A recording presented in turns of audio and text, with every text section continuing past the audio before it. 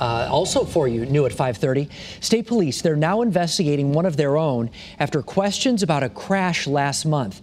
A sergeant was coming home from a brewery when he crashed a cruiser, but state police apparently never conducted a field sobriety test. Channel 3 Eyewitness News reporter Mike Savino is live right now. He has more details for us at 5:30 on this investigation. Mike. Mark, they weren't able to do that field sobriety test because of Sergeant John McDonald's injuries, but that also may not matter. That's because if he consumed any alcohol, he shouldn't have been driving that police car. There's a three level investigation going on from the motor vehicle criminal and internal affairs investigation. State police have opened up an internal affairs investigation into a September 25th crash in Southbury. One of the drivers involved, State Police Sergeant John McDonald, who left a retirement party in Oxford for a coworker. According to the accident report, McDonald drove through a stop sign on Airport Road in Southbury, colliding with a car traveling on Route 188.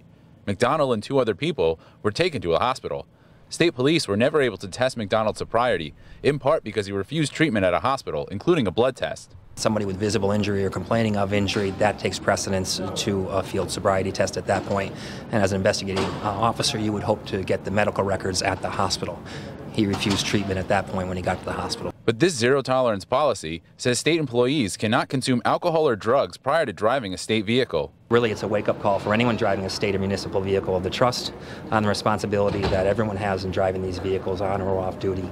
State police hope to wrap up the investigation quickly. Obviously, we're trying to expedite the investigation as quickly as, as possible, as uh, there has been some concern about it, obviously. Now, we also asked if McDonald violated any department policy when he was able to avoid a sobriety test altogether. That was unclear.